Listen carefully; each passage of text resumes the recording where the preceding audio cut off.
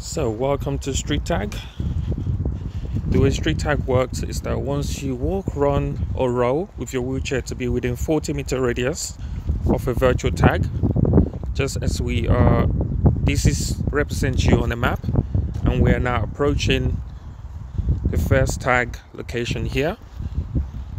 So if you tap on this tag, it will give you some information about the location of where that tag is and we're 70 meters away. And as you get closer you reduce it. So once we're within 40 meter radius of this tag then it should ping and we'll collect the points assigned to this tag. So there's 100 points assigned to this tag. There you go. And it changes color to red. In some instances it might be to fruit or vegetable or something else. And you there will be a countdown on this tag so you cannot pick up the same tag until an hour has passed. So you can see the countdown here. So it means you can now also go and explore other tags all around you. So to pick up as many tags as much as possible.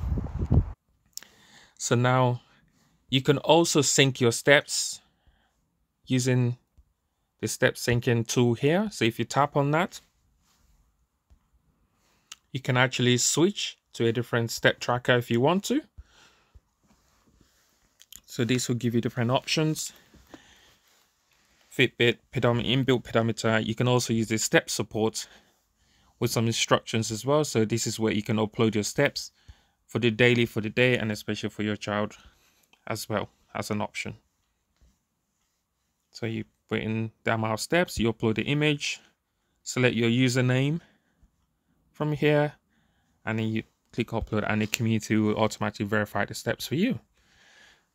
Um, also, if there aren't any tags around you, use the add new tags, click on that and make sure it's in a safe space. And you can basically drop and plot your own tags all around you. Just click I'm also give me tags. And please make sure there aren't any tags around you. I mean, if you try to if there are existing tags around you, it will not allow you to add that.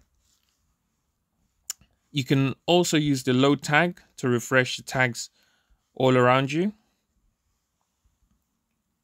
And in the menu, this is where your leaderboard is to view your leaderboard. And you can also use the playground where there are lots of different functionalities such as power hour where you can set your power hour for the day so you can use the app anytime you want. But if you pick an hour in the day that you set, then during that hour, all your tags points will be triple pointed. So you want to make sure you use that commit to an hour of exercise as much as you can on a daily basis. And you can also keep a streak score as well. Then you also have couch to PB. And most of this functionality, once you click through it, you can click on the information button here to read more about what they are and what their functionalities uh, what how it serves you. PE code is also available so you can watch out for the different ways you can earn PE codes. And this gives you extra points. The message board it's where we send out push notification of uh, critical informations news updates. And you can often watch out for some extra P code just by reading those messages in a message board. You can also click this to get free points. And we encourage you to use the offline mode once you've uh, perfect how to use the online mode, especially if you're on iOS. So you go to that. So especially if you don't want to have your data turned on all the time, you can just use the hybrid mode, which is a mixture between offline and online or you can use the complete offline mode, which is what we recommend.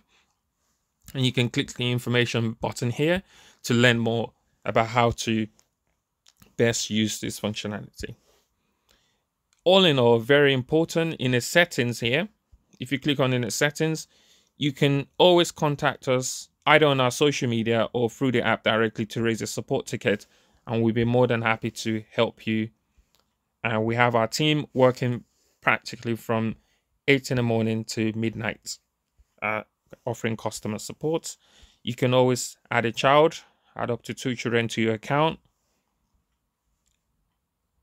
And there's some key functionalities in here as well. You can control your data, download your data from here. You can also um, delete, wipe your data from here uh, directly as well. And please always make sure you have your scanning background mode on, especially if, once you're ready to head out to collect tags. This would mean once you have this on, you can actually just have the app running in background mode. Close your screen. You don't have to stare at your phone screen all the time, and you can collect as many tags as possible on your on your walking and cycling or running or wheelchair route that you're taking. So, and finally, here's the dashboard where you can view some stats about your team. So clicking on that, you can view some information mm -hmm. uh, across here. You can also view your streak from your power hour. So these are the basics of how to use the Street Tag app. Hope you find it useful. And there's more information in our FAQ on the app.